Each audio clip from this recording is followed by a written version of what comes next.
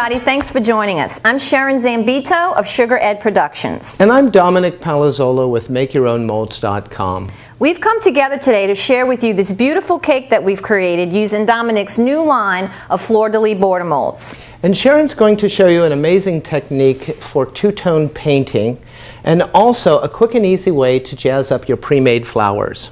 So we've got a great tutorial to share with you today. Let's get started.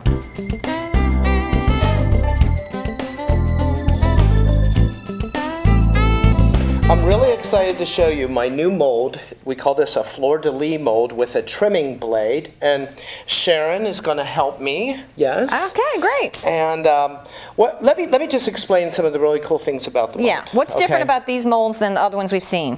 Well, when I was using molds and I watch other people use molds, what they do is they take their fondant and they have to pack it in little pieces and they have to get it all in the perimeter, and then they take it out of the mold, and then they've got to trim it with an X-Acto knife, and it takes a heck of a long time.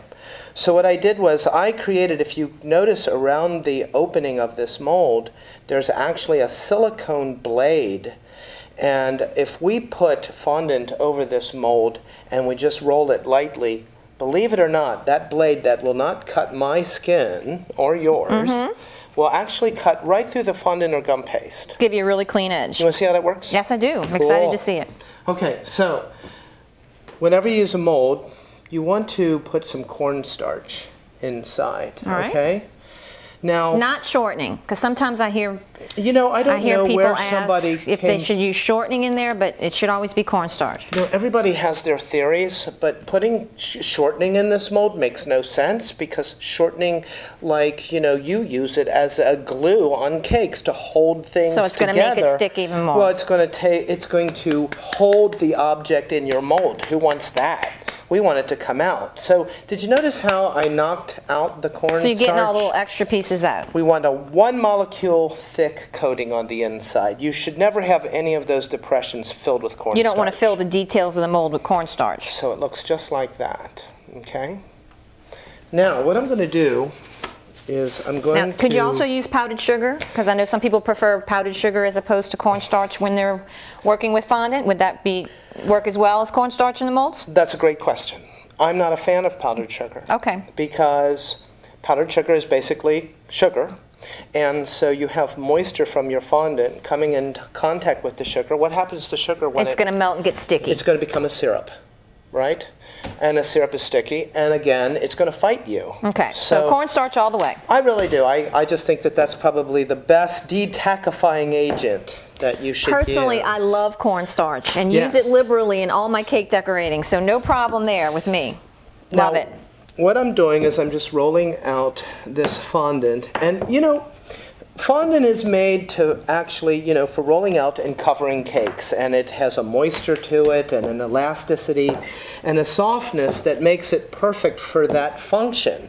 But when we're going to mold fondant, we would like to put, put perhaps some, knead in some powdered sugar, or as you've shown me, Tylose, which I think that works really, really nice. It, it adds a structure to the fondant that I think really, really helps uh, so that it and I've molds got a little bit well. of powdered, powdered Tylose here just to show mm -hmm. everybody. It's just a little powder that comes in a container. It's very cool. It's one of the ingredients that's used when you make gum paste from scratch.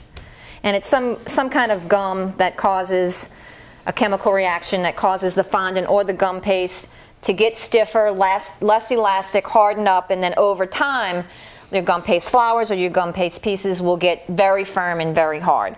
And if you're going to knead it in, you just take a teaspoon or a little dab, we don't really measure, and just knead it in dry into your fondant and just keep kneading until it's all incorporated and then roll it out and you're ready to go. Because it activates within just a couple of minutes of you putting it in the fondant. Is there anything you don't know? I'm sure there is. I'm sure there is. Okay, so back. What I don't know, you'll teach me. yes, and vice versa. So what, here's one of the important things that I want to show about the mold, and, and hopefully the camera can get nice and close up, okay?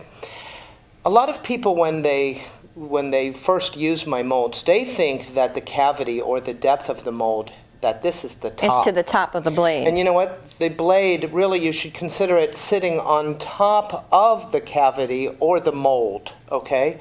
And as a separate, not a separate piece, but something you don't want to fill to, you should be filling to the base of the blade, which we can see that. There's almost actually like a little line. line in Yes. there that you can see. That's you about wanna- halfway down the side. you want to roll your fondant or gum paste so that it comes up to that line and not to the top Not of all the the way to the top of the blade. Because then what's going to happen is is that you're going the mold's going to work, but you're taking something out that's a little too thick. Instead of looking like a cake decoration, it looks like a biscuit.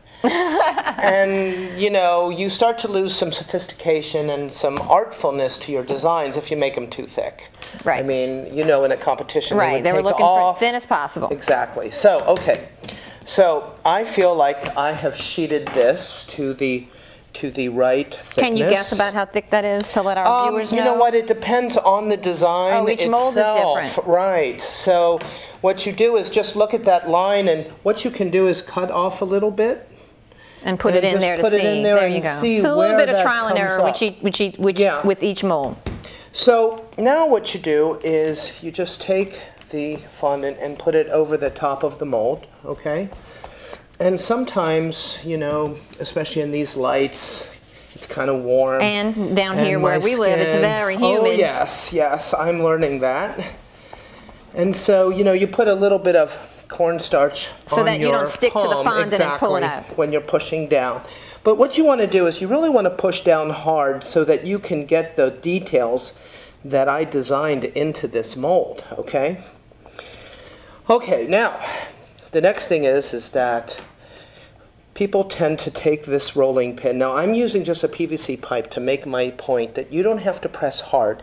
Really what it is is just short quick strokes. Now you can see how it's cutting. The blade is doing the work, not the pressure. Exactly. You don't have to do this. Right. Which is going to distort the mold and it's not going to give you as good of a, a border. But you can see that I'm just going fast back and forth with these strokes. And look, look how nicely Very clean cuts on the edge. it cuts right through it. Okay? Now, once again, I'm going to just make sure that I've copied all of the details.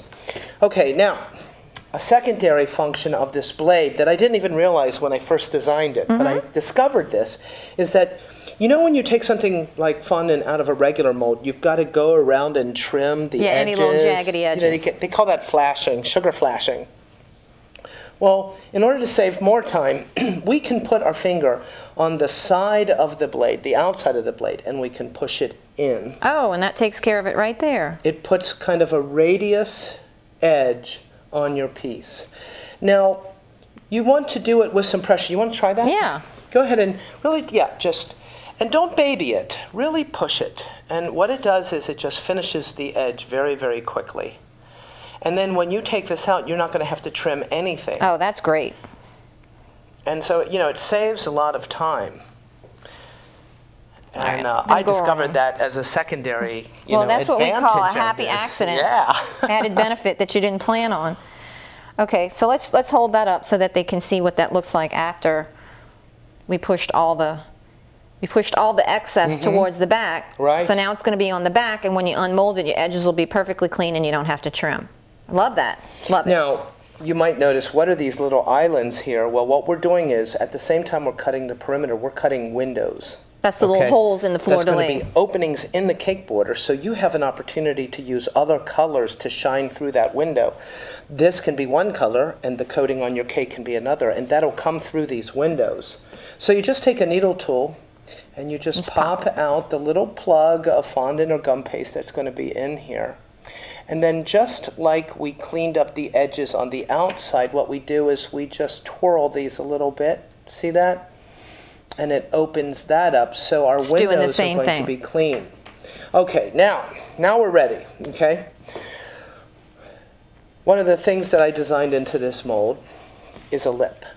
Mm-hmm. Instead of just having a flat, hard rubber edge, you can grab this lip and, and you can grab on the other side and watch what happens when I do that. You see how the mold elongates? And it's just pulling away from the fondant. Exactly. That is just going to make the piece inside want to release. And then what I'll do is I'll take my left hand, because I'm right-handed, and I'll put it underneath, and I'll grab the lip, and I'll pull, I'll pull the lip down while pushing up from the bottom. See that? I'll pull it down and push up. You want to try that? Pull it and then just pull it. That's it's just, it. it's basically It's- doing the work It's common for you. sense, you know? And so you just go around,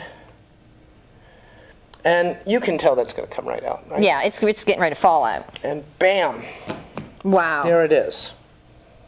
Just a beautiful border. and that's gorgeous. And you can see all mm-hmm. the little minute detail around the fleur-de-lis and the jacks down here. Yeah, we have a micro string of pearls bordering every fleur de lis. Plus, the distance from this edge to this edge is 2 pi. That's 6.28 inches long. You know what that means? Any even diametered cake, like a 6, an 8, a 10, a 12, when you start putting this around the bottom, it will meet It will always match up perfectly around the back. Like- Mm-hmm. That's a big advantage because a lot of molds that we use, you start at the front, when you Right. get around to the back, it never matches, and you always just have a little seam in the back or put a flower there or turn it to the back some because it doesn't awkward- match up. And, and let me show you, what I'm going to do is I'm going to take one side of this and let's simulate that they're coming together. Pretend right? that it went all the way around and you're at the back. Do you see how They that fit comes in together? perfectly so it looks seamless. You don't see the Yes, we designed it so it'll just seamlessly go right back together perfectly. So That's there is no beginning or end to the cake border. That's great. But we can take an additional step. And this is what you did on your cake. Yes. Right? Okay, so what we're going to do is what if we wanted to make. Well, you can pose the question. Right? what if we wanted. Dominic, I really want it to be two-tone. Okay. I want my fleur-de-lis to be and my jacks to be one color, but I want the background of the lace to be another color. That We would can be fabulous. that. Can you make that happen? I can. Show me how. So, so the jacks are these. These are half jacks. See those little designs? And they of- actually look like the mm-hmm. little jacks that you played with as a child, right? And we designed those because they go very well with the fleur de lis. In fact, the jack is made from this little thing four times. See There the you go. Bottom? Yeah. So Coordinates it goes perfectly. right. It it goes in design with it really well. So now what I'm going to do is. So would you like the fleur de lis to be blue? Yes, we're going to do blue and a different color on the background. I think we'll do brown on the background. And for you guys at home, the reason why we're doing that is because blue is very camera friendly. Yes. And it's allowing you to see all the details and the intricate workings of the molds. This may not necessarily be a color combination you would choose for your cake, but if we did it in all white or ivory or a light color, you wouldn't be able to see the detail.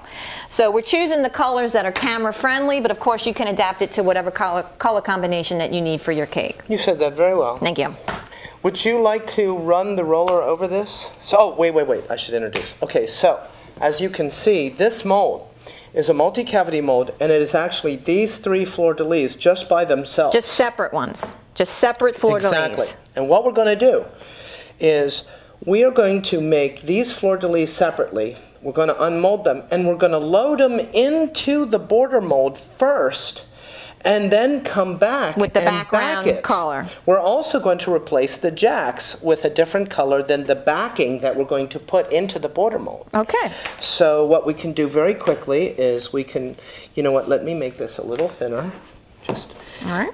Now, when you are making these types of insertions into the mold, you really have to make sure that you are, are hitting the thickness correctly. Mm-hmm. Because if you make these too fat, the effect. It's is not going to fit when you put it back in the one. yeah, and it's not going to look as nice. So, you know, I don't think people believe me that it cuts that easy. You wanna, you show Put them. that under plastic so we don't dry out. Okay. And it's just real quick. Very, very light pressure, yeah. It's kind of fun, isn't it? Yeah, it really you is. know, it's just. Yeah, that's no effort whatsoever. So just very quickly, you've just made three fleur de lis. Right. You know, and I'm just going to press them in to make sure.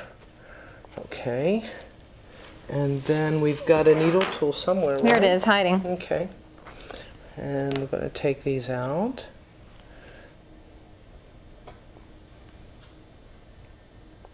Okay, so again, you know what I'm going to do is I'm going to turn that edge. Edge down so and it'll you be know clean. What? You, you kind of get this really quick. See, and this multi-cavity mold is created in the same way as any other mold, that it's going to cut the pieces that you need and give you a lip to turn the edge. So there, You're done. we're Right. done, okay? So what I'm gonna do is I'm gonna unmold these, okay? Just nice and gently. Oh, those are so pretty. And then I think you made these molds just for me because you know I live in New Orleans. I love fleur de lis. I have fleur de lis everywhere in my house. We have about 11 or 14 of them here just on this set. I love fleur de lis, so I'm, I'm partial to this. So would you like to load these? And what I'll do is, um, I'm going to hold one up just so the guys can see it real, real close up how pretty that is and all the little detail and how clean the edges came out without having to even trim it up.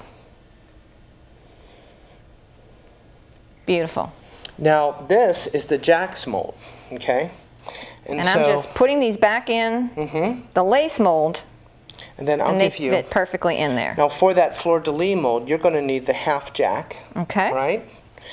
And this mold makes three half jacks and three full jacks. And I think you used both of them, right? You used the full and the We're going to use fulls and Mm-hmm. halves and your little fleur de lis too. We're going to use uh, the whole the whole set. Okay, so there are your three half jacks. And then you'd like to back that in brown? And we're going to use brown, yeah. Okay. Just a light brown, just so that they can see the two-tone idea, Mm-hmm. get a little bit of contrast, and again, a color that'll show up well on the camera. So should we use shortening as an adhesive yes. between Let's the grab a little shortening, which I have under here, and a brush. And while you're rolling that out, I'm just going to take shortening on my brush and just put a little bit on the backs of these, and this will be the adhesive that's going to hold the two pieces together so it's going to unmold as one piece. If you use water as your glue, what happens is if you put too much, it oozes out. Yes. And then when you unmold the mold, you got this colored syrup of the color of fondant, one of the two colors, and it messes up the piece and you basically have to start over. If shortening gets on the background color or it oozes out, no sweat, just wipe it off and you're good to go. So this is a great, shortening is my favorite glue. Okay, so so what we've done is we've loaded the mold with one color. And remember now, these windows are always going to go through the entire border. And now we're going to back this with another color. And so this type of mold does a number of things. It, it greatly speeds up the production of a really cool border with the trimming blade and Yeah, the it really un- does make it faster. lip. But also it gives you this preloading capability where you can create a lot of different color combinations that you couldn't do before.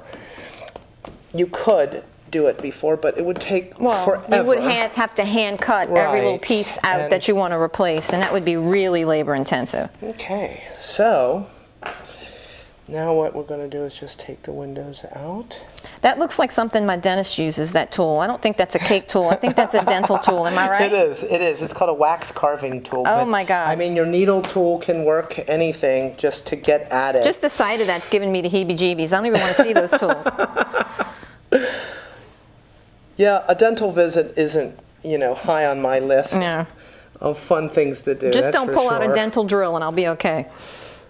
Okay, so we've cleaned up the edges, and then we're just going to use the Same thing, You and know, now it's all going to come out as one piece. And then we're going to see what type Ooh, of. can't uh, wait to see it. I'm going to clean up this little bit of mess here. Okay. And then we're just going to see what we get here. And it just basically falls out. Look There how pretty go. that is. I personally like brown and blue together, and that's kind of a an in color right now, color combination. I'm going to hold it up so you guys can see. So, see, you can make these great, you know, color combinations, and again, you have the windows. Right, so the background color of the fondant will show through. And Right. we'll see and that. that. could be a third color. Exactly, and we'll see that on the Yeah, cake that I'm getting exactly ready to show you. Did. Yeah. Yes. So, really brings some sophistication to, you know, cake decorating. I love that. I love that being able to do the two-tone. That's Now, beautiful. on- now on show the- them your little fleur-de-lis mold, which is just a coordinating Right. small fleur-de-lis that you can use for accents. Well, you know, we've got the full jacks. Yeah. Okay. And this, again, is an accent piece. It, it wouldn't be used to load into the fleur-de-lis mold. Right, this is just going to coordinate, and you'll see how we do it on our pattern on the cake. So it, it's, it's an accent, and then we also made mini fleur-de-lis, which I think you used very beautifully. Let me grab one for everybody to see. Little tiny fleur-de-lis, and it's the same pattern and configuration as the big one. So that you can put that with this border and really kind of get a, a general theme for the whole cake. Right, and the great thing about having the separate components is that, you know, you've got the basic design of this one, but you Mm-hmm. can mix and match and alter your other components and come out with your own unique custom designs on your cake, and you can vary it up. It doesn't have to be the same mold, the same pattern, the same look every time. You have a lot of flexibility in changing up your design. I couldn't have said it better myself. Because that's exactly what I did. Okay, so that basically is how the fleur-de-lis mold set goes. Okay. How, how it all comes together and. It's really great. And now that you've showed us how to do this, um, I wanted to, on my cake, do gold painting on the fleur-de-lis. so I have a Mm, little bit, just a tiny bit of an alteration in your process to show Yes. how I did the, the gold painted uh, fleur-de-lis on the background color. We are going to clean up, get the stuff we need to show you that. We'll be right back. When I saw Dominic's molds, I knew that I had to do a two-tone golden black painting. I just knew that it was going to make a stunning cake. So this is the motif that we that I used, and you can see that I used all the different parts of the set, the mini fleur-de-lis, the full jacks, and then we did the two-tone with the full lace border on the bottom, and we've painted all the gold, all the fleur-de-lis gold. Hmm. Now, what I want to show you is kind of the, the technique that I discovered in doing this that makes that painting look a little bit easier. Now what you could do is just mold the, the, the two-tone piece like you did in the blue and the brown. You could do that with white fleur-de-lis on the black and then just put it on your cake and then paint the fleur-de-lis gold once it's on the cake. Right. But it's very hard to do that and keep it clean and not get your gold going all over your back, your black background. You have to have a really steady Oh, sure. hand. Or if you don't get the gold all the way to the black, then you have a little bit of the white fondant showing through. Hmm. So what I did was, is I molded some of the fleur-de-lis in white in your separate mold. Right. Okay? And then just let those harden overnight so that they were firm. Okay, because we're going to paint them gold and then put them in the two-tone mold. Oh. If I would have painted these while they were still soft, we would have just turned into sugar goop. Oh, I see. because we're going to use vodka and that would have combined with the soft fondant and the sugars would have just created a goo and it wouldn't have hardened. So I like to let these harden, then we're going to paint them, then we have to let them dry, and then we put them back in the mold. So it's a couple of steps to the process, but it's worth it because you're going to get this really refined, beautiful, clean painting job. It Okay? looks like a competition cake. Oh, thank you. All right, so let's move this to the side and I'll just show you real quick how we how we do the painting.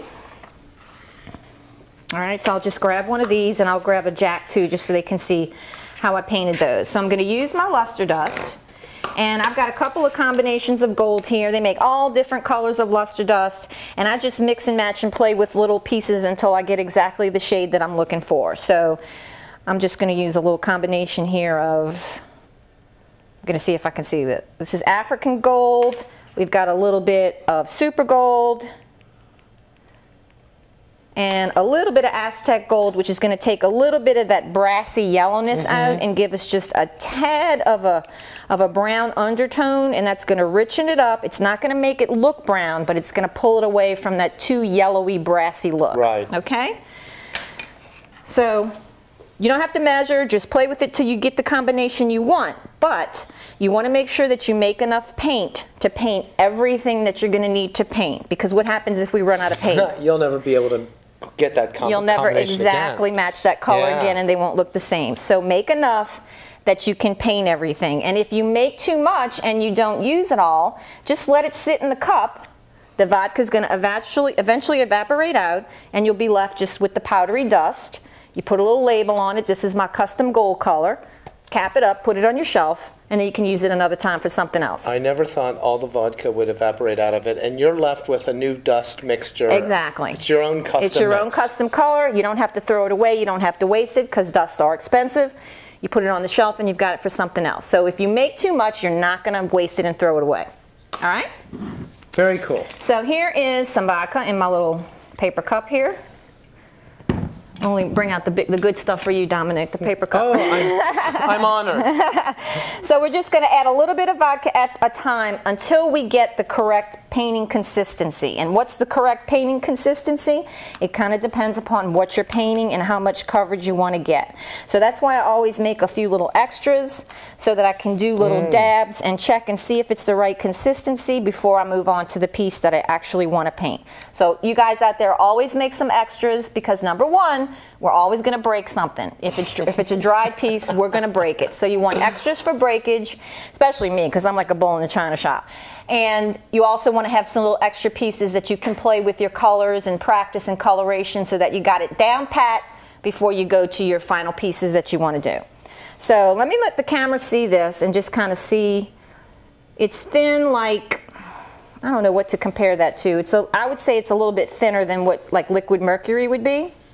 Liquid mercury. you know, if you break a thermometer Yeah, and no. the mercury comes out, it's a little bit thinner than that. So let's just try it on a little piece and see how it's going to look. If you paint it on and it just kind of runs and you see a lot of white still underneath, then it's too thin. so what do you think of that? This is probably just about right.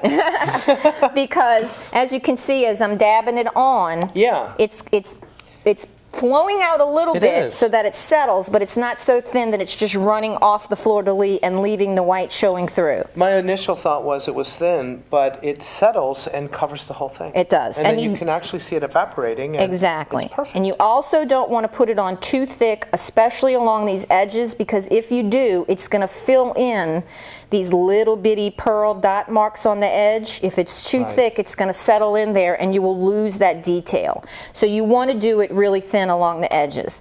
And another little trick when you're painting, when you mix it in your cup, it doesn't really dissolve totally 100%. It kind of just goes into solution and settles out. And then you stir it up and it goes into the solution and it settles out. It never really dissolves. So you have to constantly be mixing to keep it at the consistency you want. But the thing that's to your advantage is if you just let it sit there for a minute and you tilt it over, you'll see that this part over here is going to be really thin, but down here on this part, where some of the dust stayed behind, you'll get a hmm. thicker paint. So you can you can actually have two consistencies in the same little container.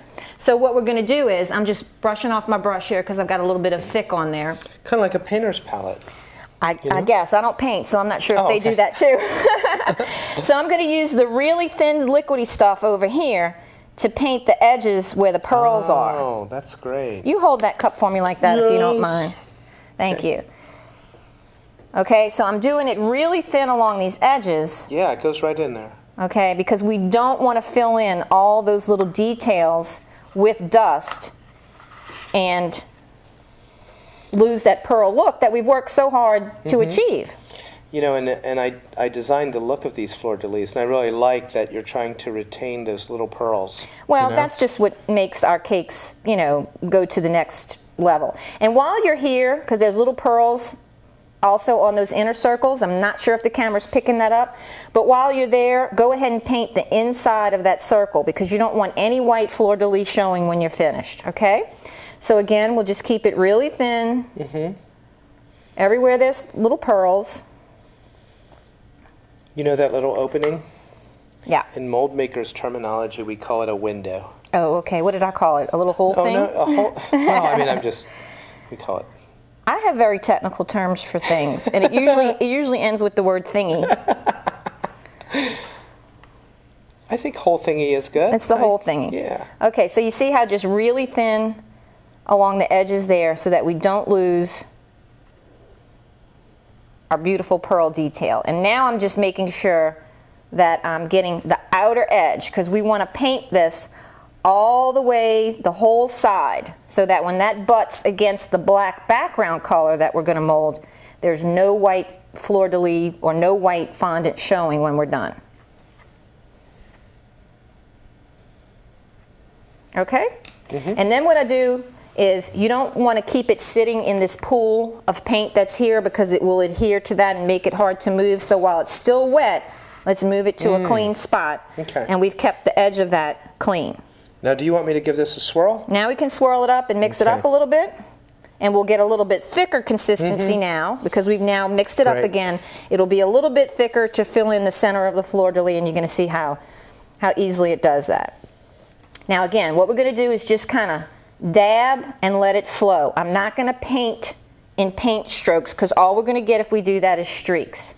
Just load the brush with a little bit on the tip, dab and kind of coax it as far as you think it's going to go without, you know, breaking through and showing white.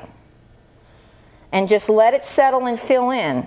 And when it all dries, you're going to get a very smooth covered surface. It looks like you're putting too much on, but I can see it. It's just smoothing out. It just does. Like you it just said. settles. And mm-hmm. as the vodka evaporates, the dust kind of compacts down and also goes into all those little grooves, and the detail will actually come out more after it's completely dry than what you first see right now.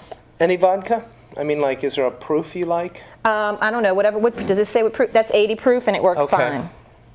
You don't want to go too high proof. I Mm-hmm. do not recommend using Everclear or like 151 Right. because that evaporates too fast. Right. And you don't get the seal of the paint on the object. It would be almost like dry brushing it with a dry luster dust. You're just giving it a, a, a, a dry dusting and it's just going to flake off. You're not going to get, it doesn't have enough time to adhere to the sugars in the fondant to create a paint. So while Everclear and high proof alcohol has many uses in cake decorating, and we do use it for other things, when we're painting, keep it at about 80 proof so that you get that good result. 80 proof means it's 40% alcohol. Okay, I'm glad you know that because I don't. You know all the science stuff, I just know what works. Well, when I went to chef school, I, I really got interested in all that, the, all those details. I just, I don't know why, they just took. You know, I remember them for some strange reason. So now it's fantastic. completely painted. You've got a completely opaque painted look. It's still wet and shiny when it completely dries, and I'll show you one in a second. It's not going to have that wet look, and it's going to settle, and it's going to look, it's going to settle down into the grooves more, and it's going to look perfect. Okay, so while we're doing that, just let's just do one of the jacks, and I'll show you. It's basically the exact same thing. I'm just going to dab and let it flow, and I kind of have to hold it because this little bitty, these little bitty pieces want to just roll all over the place. And make sure you're getting it along the sides too, all the way down to the board, Mm-hmm. so you don't have any white Right. spots showing.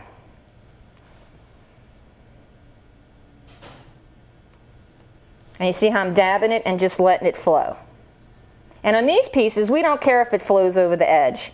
We'll just move it to a clean spot, and that takes care of any Oh, little overflow that you know might be hanging up there.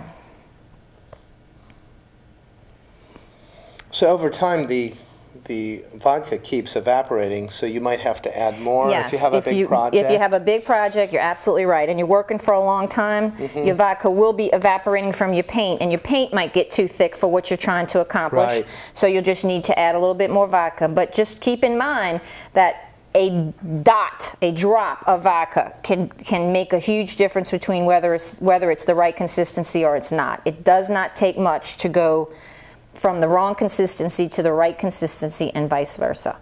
Okay, so you see how with my brush, now that I'm finishing it up, mm-hmm. just kind of moving it over to a clean spot. Because oh, That's I don't great. want it sitting in this pool of paint. Because if you do, let's see if I have one over here that I can show you.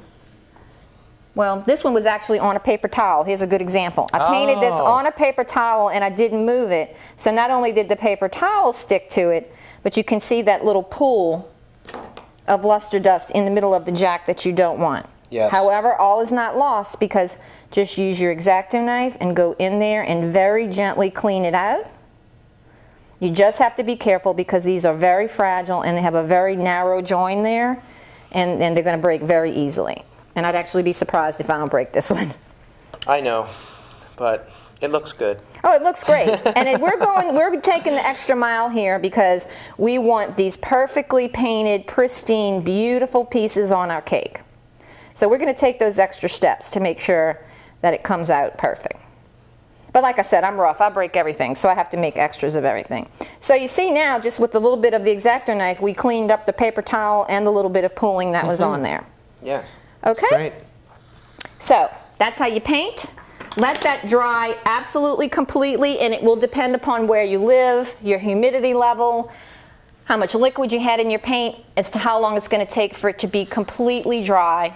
I usually just do things in a day. One day I mold it and let it dry, the next day I paint it, then the next day I come back. So you do have to kind of plan ahead. It probably doesn't take a whole day for it to dry, and you just test it. You know, you just do a little dab with your finger, and as long as it's not coming off. So see now it's perfectly dry. Oh, we yeah. can rub it. I can put my hands on it. I'm going to be able to manipulate this, put it back in the mold, unmold it, touch it to put it on the cake, and we have not ruined our beautiful gold painted surface. You know, to see that powder out of the little vial there, you would never think that you could make it such a nice coating like this. Right, and that's what the vodka does. It does some little vodka-y magic, and it, the sugars combine with the fondant and the whatever's in the luster dust in the mm-hmm. vodka, and it creates that paint, and it makes that adhesion to the to the piece so that you get that permanent paint. If you use a high-proof alcohol, like I said, that alcohol is going to erap- evaporate faster, too fast for that adhesion to occur, and you're not going to get a permanent paint. Okay, so now we've got all these dried pieces of our fleur de lis and our jacks, and now we're going to mold a two-tone piece to put on our cake. All right, so we've got this. You go ahead and load in the three pieces. Let's just Okay. make sure I don't have any debris in the mold. Okay. And I'm going to let you mold, put in the three fleur de lis and the three half jacks. Sharon, you you made these fleur de lis the perfect thickness. Thank you.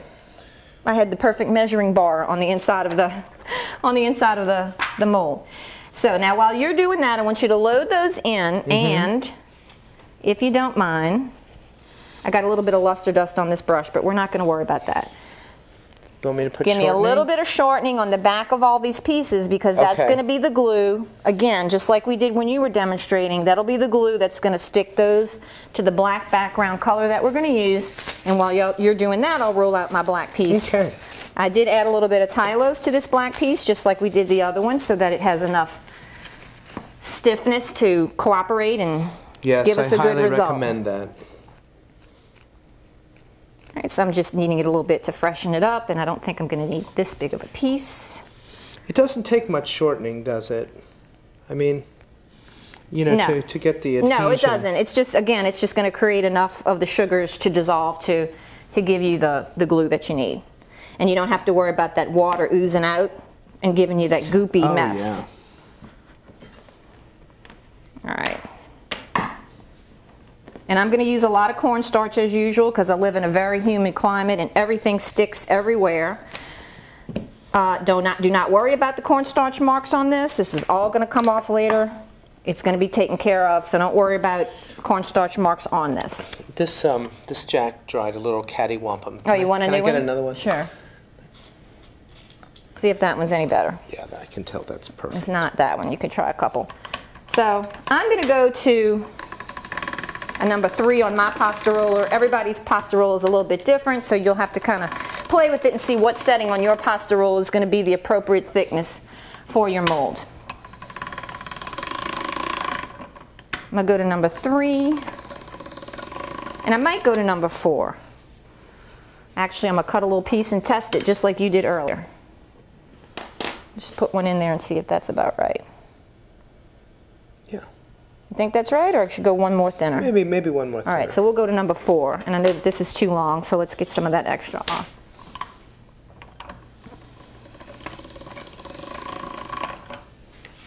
Okay, again, don't worry about the ashiness on this, that's gonna be fine. So you've got a nice, good liberal amount of shortening on there. I do. We're gonna put our black on, and we're gonna do the same thing that you did earlier. That's going to make a great contrast. I'm just pushing down, but we've got to remember not to push too hard because we've got hard pieces of fleur de lis and jacks in there, and if I push too hard, crack, you hear that, that dreaded crack, yeah, the silicone below it is soft. Right. And it's just. and it can only take so much pressure. So let's just do our rolling technique here very gently. Cut our fondant, and again, I'm being gentle because I don't want to put too much pressure and, and crack my pieces under there. It's just short, quick strokes. Right, just back and forth, little Yep. quick motions gives you the best cut rather than going mm-hmm. back and forth over the whole. And thing. that silicone blade will just find its way right through it. It sure does.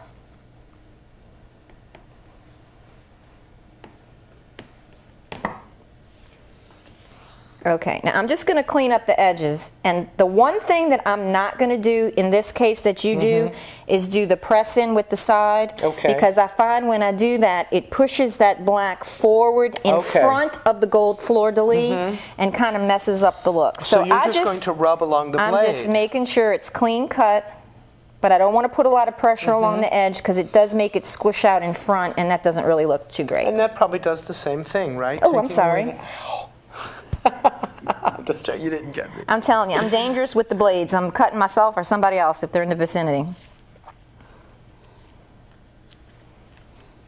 Okay, and then to unmold it, the weight of these pieces is just going to really help it come out. And then you can see how it just kind of fell out. That is fantastic. Now look how beautiful that piece looks. Okay?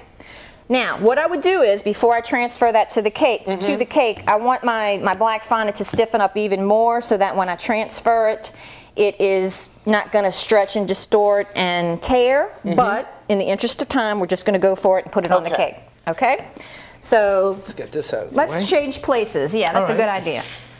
All right. So I'm going to tell you a little bit why I decided to do the pattern this way. Okay. When I first started to design this cake, I started at one end and I was just going to go all the way around like you would do with a round cake. But what happened was, because of the size of the square, the big fleur-de-lis were falling right on the corner. And it didn't look good with the fleur-de-lis wrapping around. Mm-hmm. So I decided that four across in the middle of each side was the Oh. best look. Okay. So that's what we're going to do. So what we'll have the opportunity to do is show our viewers at home is how to patch a second piece into this. Okay. And then to also use a little ingenuity to make the corners fit when the mold is not exactly the right size Right. of what piece you need. That's going to make more sense as we go along. So, yeah, you know, we designed them for a round cake. I mean, Exactly. they certainly work on a square, but a square isn't the same as a round. So. And sometimes we have to work with odd shapes and sizes. Now this is my wet one. I'm going to take a dry one here so I don't get my fingers all over everything. And you can measure this out if you want to be precise and know that your piece is going to be this many inches Mm-hmm. long and measure it in the middle. But just for posterity, I'm not going to take all that time. I'm just going to eyeball it and slap it on there. Okay? And since I'm on this side, I'm going to give you a little break from your shortening duties and just put it on myself this time. I like to give you the shortening work because you're so good at it. it's a very challenging task, and And again, just put it anywhere because it doesn't matter. Whatever extra oozes out from behind or gets where he doesn't want it, don't want it, we'll wipe it off or it'll absorb later. Okay? So I'm going to be very careful and just pick this up and put it on. Okay? And now it's in place. And oh my goodness, I put it too far to the left. Just slide so it on the over shortening gives, gives you that flexibility, to just move it Wow. over. And if mm-hmm. you had used water, you would have a big old stain, a oh, black Oh, yes. stain back there. Right. So once you get it on, you can adjust it left or right and get it Mm-hmm. exactly where you want it to be. Especially this cake, because you've got that color treatment. What what do you call this? Scallop? Scallop? Uh, this is a faux finish. A faux I covered the cake in fondant and then did a faux finish with an ivory luster dust. Mm. And we teach a lot of those techniques in our Sugar Productions videos. yeah, they're great. Thank you. All right, so I'm just going to make sure that's right where I want it. Okay, so then just press it in and make sure that it's adhered to the cake. You know, when I want to design something new and I'm looking for inspiration, I watch your DVDs. Oh, thank you. That's so nice to hear. Thank you. It's a, it's a video encyclopedia of cake decorating. Thank you. That is so kind. I appreciate that. So now we've got to put one more here, Mm-hmm. and I have one sitting around here somewhere that I already molded. Is that There it is on the black background. Okay, so what I did was just mold one more on the black background. I didn't need the whole thing because we just need one to cut into that spot. Mm-hmm. Okay, so what we have to do now is we make sure that it's going to fit on this side, and this was the last one in the mold. Okay. It was here. right. This was the last one, so we know that this edge is already cut perfectly, and it's going to fit right in to the pattern seamlessly. That is incredible. Then the only thing we're going to need to do is with an X-Acto knife, just trim this edge so that it looks clean and identical to the other side. So that's going to take about two seconds. You know, it's really cool to see what someone like you will do with the mold that I designed. Right. You know, you have no idea what people are going to do with it and its uses until people like you have at it, you know? And what I like to do is, you know, teach people alternative ways of using some of the tools that we have and using their imagination and changing things up and giving themselves versatility with their designs and the things that they can offer their customers. So we can take our tools and use them in different ways and you know get a lot of different products out of it. Because sometimes we just have to look at our look at our tools and our toys and, and think about you know what other things can we do with them other than just the original intent that they were made for. And that's one of the things I wanted to show with this cake was We've got this beautiful mold set which is working great, but we can also patch it a little Right. bit to create our own unique design that's different than just, you know, the run-of-the-mill lace pattern that you might see somewhere else. And the mold is still helping you do that. Absolutely. Because it, you know, gives you Yeah, because it gives you those cuts right. there. It just tells me where to cut and it fits right in. And you know, one thing that we hate as cake decorators is our seams showing, our joins. And this is great because I'm going to put it right in there and you're never going to tell that there's there's a join or a seam there. It's going to fit in seamlessly. And you can go all the way around this cake and we'll never see where a seam was. So that's a that's a joy to me because I like to have pretty pretty seams. I just love the contrast on the cake. And then through the windows, you can see the Exactly. the uh, finish that you have on the cake You mean the little itself. hole thingies? Yes. yes. The little hole thingies, you can see your ivory and your faux finish coming through. All right, so we've got the basic pattern on. I'm going to clean up a little bit now and get a couple of other supplies, and then we'll show you how to patch around the corner and then just finish off the rest of the jack design on the sides. Be right back. Okay, so Dominic, are you wondering how we're going to make that flush and make that corner look good and work with the rest of the pattern? I am. I'm really enjoying this. Okay, I'm glad you You're, are. you're I am taking my mold to new heights. I'm so- glad you're liking it. Now we can't use your mold to patch this Mm-hmm. because the section in between the fleur-de-lis is not long enough to go all the way around this corner. So in this case, we've got to make our own patch. Okay. But I actually kind of like it because it gives a little bit of a Yeah. modern flair on the corners. It's a little bit different than the rest of the pattern. But again, it's going to be totally seamless when we patch it in and you'll never be able to tell that it wasn't part of the original mold. So I've got some more of my black fondant with a little bit of Tylose in it, the same that we used for the mm-hmm. for the back of our double-sided piece.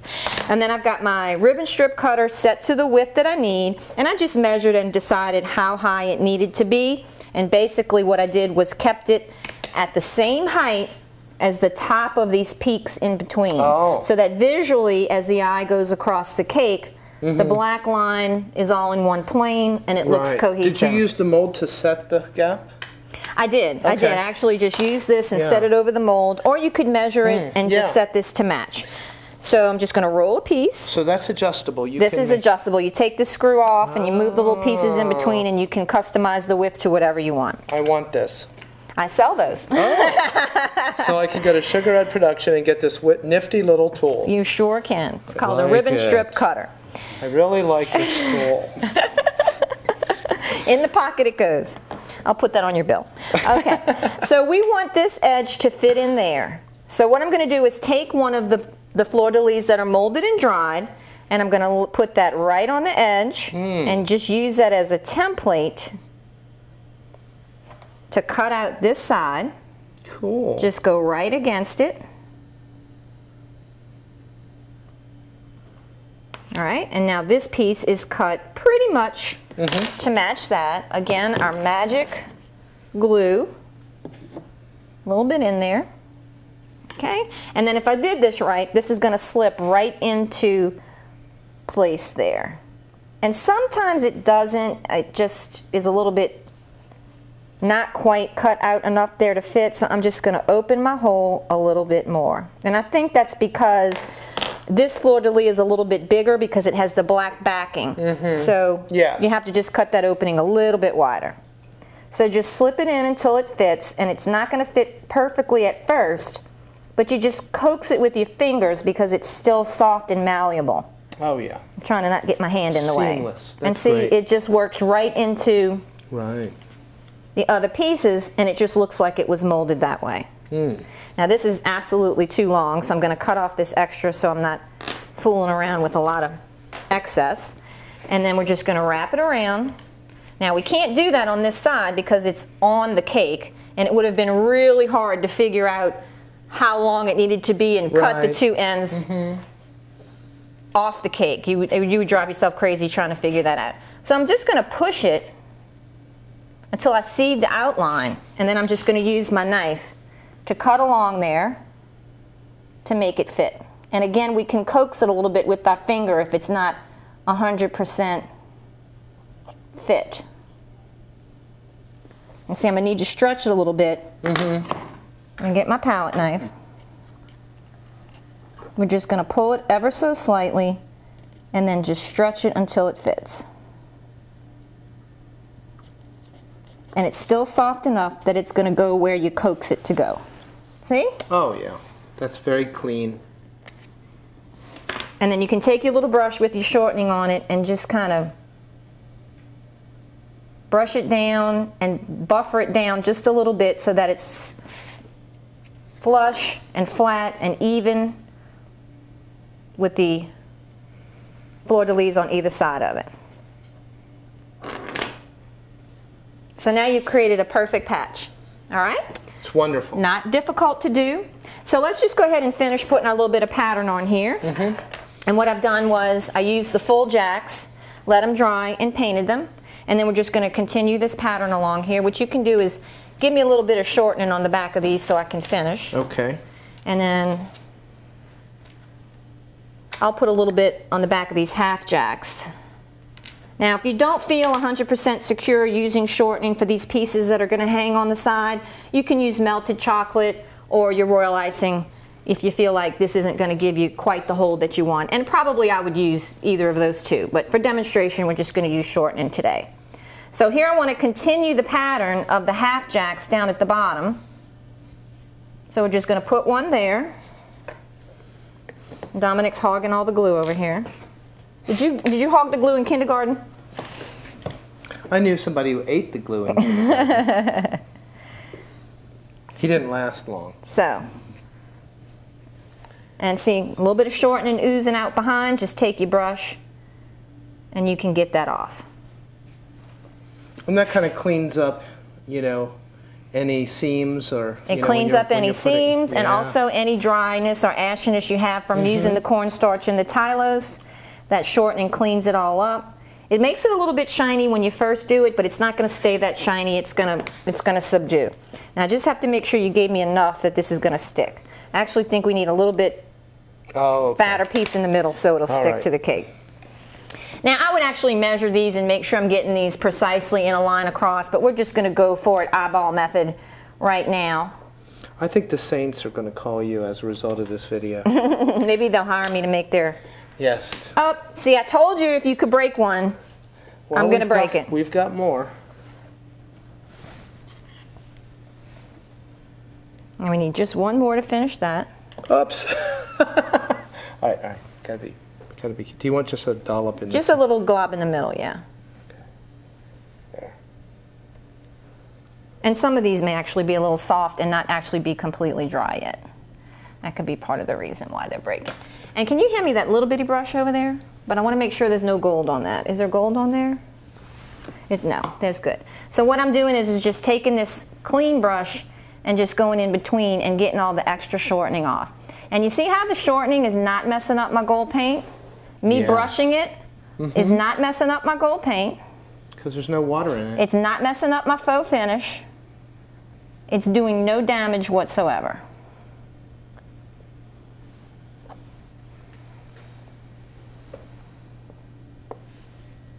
So there you have that side. Yes. And here's the back. And mm-hmm. when we get off camera, I'll finish that edge. Mm-hmm. And then just to show you how we did these in the middle, same thing, just glue them on. And then I just want to show these adorable little tiny baby fleur-de-lis that I love.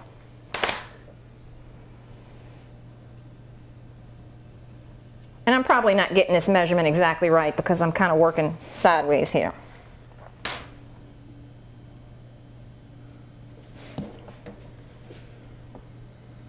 And the same thing with chocolate or royal icing. If you use that as your glue and it oozed out, if you get it with a clean brush right away, as soon as you put it on, it'll clean right off and come right mm-hmm. off without, without messing up your, your work. All right? And then if for some reason, if you wouldn't mind handing me the gold paint, Okay. if for some reason in handling things or you get your pieces in place and you notice that you didn't either paint it completely or you've got a little bit of white shining through, you can still go back and touch it up with a little bit of gold point paint and it's still going to meld in. Now you got to make sure that your paint is not so thin that it's going to drip down and mess everything up. So you want to make sure you're getting a thick enough solution so that where you dab it, mm-hmm. it's just going to stay put. But let's say for instance, you know, I scraped it and I lost a little bit of Right. gold and you just can touch it up mm-hmm. and it'll just meld right in. And that's been sitting for a while, so you figure it's thicker, right? It, it is mean, a thicker, is. thicker area and right. Because the vodka's evaporating off. Exactly. You just want to make sure you're not putting it where it's so thin it's going to run down and, and mess up your work. So any little spots where you might see a little white coming through or you nicked it or you can always go back and touch it up after it's on the cake and it's going to blend in perfectly. It looks fantastic. I think it looks great. It really does. I love the molds. I love the ability to do the two-tone. And I love the little window thingy so I can see the faux finish coming out behind the cake. the whole cake concept, it's just incredible. So now that we've got this stunning cake, we just have to finish it off. We need some kind of topper, and I think it calls for a beautiful gold flower. And I'm gonna show you a way to do that really quick, really easy, with stunning results. We'll be right back. Okay, Sharon, got a great looking cake. We do. Absolutely beautiful. It is. But it needs to have that finishing touch. All right. I, I it needs some magic. I know you got something I do have sleeve. something for you. Let's do it. Lay it on me. All right, and it's quick and easy, and it's something that you guys can do when you're in a pinch and you need that beautiful flower at the end. You don't have time to make your own gum paste flowers. You can find some really beautiful quality pre-made gum paste flowers that you can purchase. So what I've got here is a beautiful peony that I purchased, and the great thing is they come in white, so you can color them however you mm. want. But we're going for this just dramatic, metallic, gold, black, and ivory. So we're going to use the same luster dust that we painted with, and we're going to spray paint ourselves a gorgeous metallic gold peony. Oh, cool. All right, so let's do it. Same thing, we're just going to mix our paint up.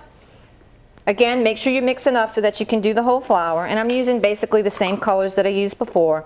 And it's going to take a lot of paint to cover this whole thing because we want to get a nice opaque finish. Right. So we're going to mix up a lot so that we know we have enough to do the whole flower.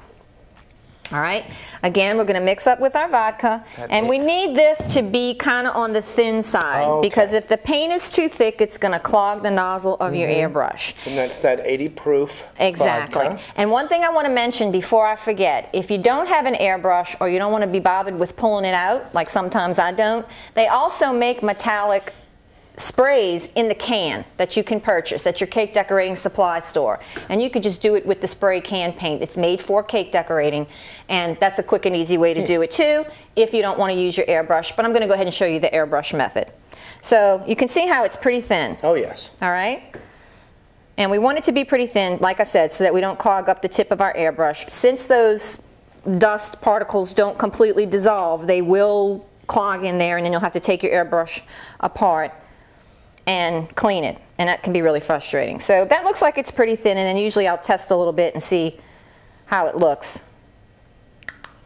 and see if I have to adjust hmm. it. All right, so we've got an airbrush here. It's going to get kind of loud. I'm going to turn it on. Now, did I hear you say you had a, you're going to have an airbrush tutorial covering the basics? Yes, in our Oh. online membership site, which is opening soon, we're going to have all kind of uh, online videos in there, and one of them will be Airbrush Basics, where you Mm. can learn all the ABCs of how to use your airbrush. I know that airbrushing would be new to a lot of people. Yeah, and it's a lot of fun because you Yeah. can really do fabulous things with your cakes, your flowers, your figurines. You can really do a lot with your with your cakes with airbrushing. So let's go ahead and pour it in, and I'm using a.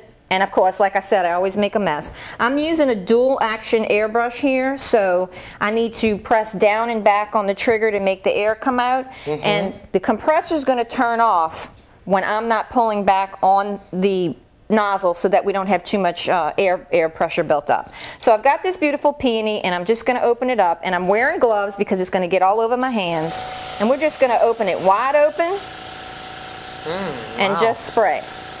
That's fast. Very fast and it's probably going to take a couple of coats to get in there and get the whole thing covered. But you could spray one coat, wait about five minutes, and come back. Now we're not going to unwire this whole flower and do mm-hmm. each petal separately Right. because that defeats the purpose of this being a quick and easy solution. So you can just open them up and move them around because each, I'm going to let you hold that. No, you know what I'm going to let you do? You can fill my cup for me when it's empty.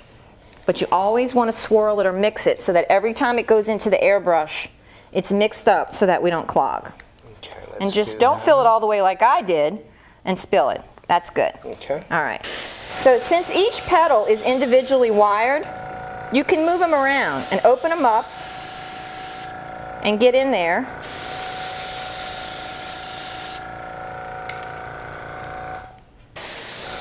And then when it dries, you know, we'll just put it back into shape however we want it. Is that the fastest and easiest thing you've ever seen? I think it's amazing. And we just, I'm just have the, the airbrush going on full power. I'm Mm-hmm. pulling the trigger all the way back. You've got to get your airflow going full blast to push all those particles through, because if not, it will clog. All right, need a little bit more. And when Let's you're painting something, when you're when you're airbrushing, painting something like this opaque, it does go through a lot of uh, paint. So you need to make sure. And if you get a little drip, just dab it off. You got to make sure you mix enough of your paint because you're going to go through a good bit and come at your petals from every angle so that you know you're covering all the white spots. And you don't have to do it all in one session like I'm doing now. I'm going to do it all in one session just for the purposes of time. But like I said, you could do one good coating, let it dry for 10 or 15 minutes, and then just come back and keep adding until you get everything painted. It's amazing how smooth it's going on. That's know? the beauty of the airbrush. Mm-hmm. If you tried to paint this by hand, like we did our fleur de lis, it would take forever, but you would also really not get this beautiful painted finish that you get with the airbrush. The airbrush has the ability to just push it through in that ultra fine mist Mm-hmm. that you can't get when you're painting. And we're going to we're going from monochromatic here. We want that dramatic, modern, sleek, Yeah. monochromatic look. So we're just painting everything gold. Yeah, it's really trying, starting to transform now. Right. Right. And what you've taken is something pre-made and just elevating it to a whole nother level.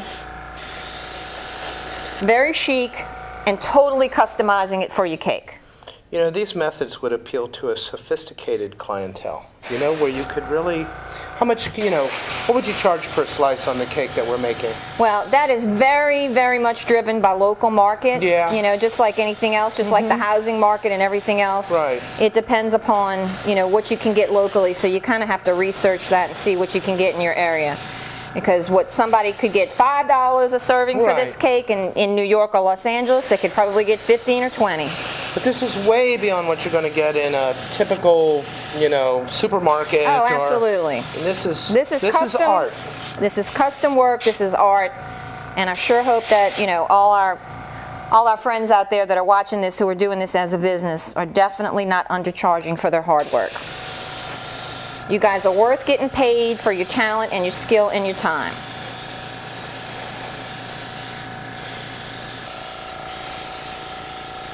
And so a word of caution is you don't want to put too many coats on right behind each other because it will pool and kind of drip. so mm, just yeah. like any kind of spray painting, it's better to do it in a couple of coats and let it dry in between. But I'm pushing a little bit because I'm I'm just trying to get it done on camera and let Oh, everybody sure. see how great it looks so they can see the finished product. And I'm, I'm pretty much there.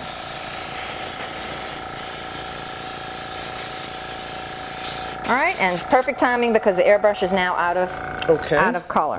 So now what we need to do is let this completely dry. What I would do is just stick the stem in a piece of styrofoam or something and just let it completely dry.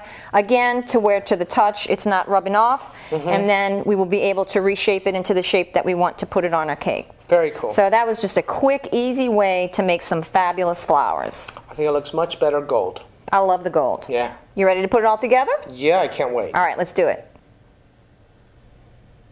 All right, so I've got two beautiful flowers here that are completely dry. You can see I can touch it now. And we're not messing it up. And we're just going to put them on the cake. We're going to use, since these are so big and effective, we're just going to put two on here. One on the ledge. You can see how it kind of offset this cake to the side. Sure. To make a little space there to fit our big peony. So I've got Oh, to great. change the, uh, turn it around here a little bit. Okay. Just so that I can see, you know, where it's going to go. So. Oh, that's And I would glue that in place with a little bit of uh, royal icing or melted chocolate, but we're just going to put it in place just like this, just for, for Wow, right and now. then you're going to put one right on Right, the we're going to put one on top too, and you can just play with it and get the configuration that you want. And I'll just give our viewers here just a little like designing tip. Since we've got this one on this edge kind of looking to the left, we don't want this one to be exactly matchy-matchy like that. If we put this big one tilted like that, it's too symmetrical going in the same direction. So we want this one to slightly tilt a little bit either forward or in the other direction, and it's going to have a more correct floral arrangement look, if that's if that's a word. And we're also not going to go way back here. This Right. one's on the edge, so this one needs to be on the Ah, edge too. okay. Now I'm going to turn it to me just to make sure I've got it tweaked exactly the You know, way that I want it. It's amazing the addition of two objects, just two flowers, and what it does to that cake. And it's, it's I think it's just really pretty because we've kind of got a, I don't want to say a monochromatic thing going. We've Mm-hmm. got somewhat monochromatic with the gold tones, but with the ivory and then just that pop of black, Yes. you can just make a really striking, striking cake. And nothing that we did here was overly difficult. I don't think so, but we achieved classic style. I think it's gorgeous. Sophisticated, incredible. I really had a good time working with you I today. did too. And I'm really excited about your new molds, and I really had a good time learning about them and working with them. And if you guys want to learn all about Dominic's new innovative line, please go to marvelousmolds.com. And if you want to learn how to make incredible cakes like this, or you're a beginner and you need a good place to start, go to sugaredproductions.com. Again, thank you for joining us. We'll see you next time.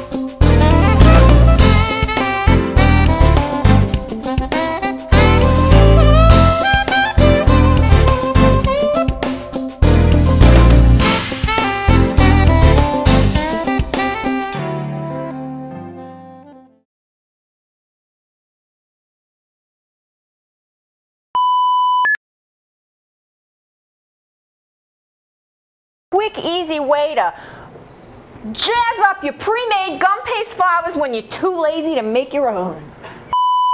Oh, that's right. We don't do glasses for that. No glasses. Only two sets of eyes. That's right. Hi, everybody. I'm Sharon Zambito of Sugar Ed Productions. And I'm Dominic Palazzolo of MakeYourOwnMolds.com. Welcome to my set, my world, my kingdom, my zit. Uh, I'll put my forehead against your zit any day. Hi, everybody. Welcome. I'm Sharon Zambito. Today I have the honor of having Nicholas Lodge with me in my studio. oh, I'm sorry. It's not Nicholas Lodge. It's Duff Goldman. Oh, no. I'm sorry.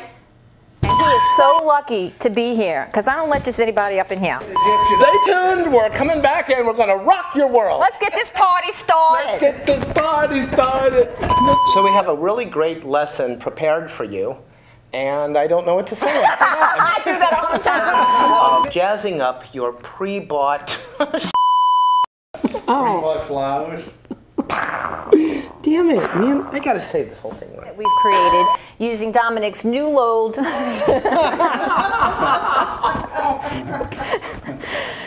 And Sharon's going to show you a two-tone painting technique, along with a quick and easy way to jazz up your pre-made flowers. Pre what? You said it right, we were like, It's really not rocket Pre-made gum science. paste flowers. Okay. There you go. Yeah. Pre-made flowers. Okay. Oh my God, I'm gonna on, have an come appendix on. attack. We were supposed to bang this one out. Hi everybody, thanks for joining us. I'm Sharon Zambito of Sugar Ed Productions. And I'm Dominic Palazzolo with MakeYourOwnMolds.com. We've come together today to share with you this beautiful cake that we've created using Dominic's new line of fleur-de-lis border molds. And Sharon's going to show you an amazing technique for two-tone painting and also a quick and easy way to jazz up your pre-made flowers.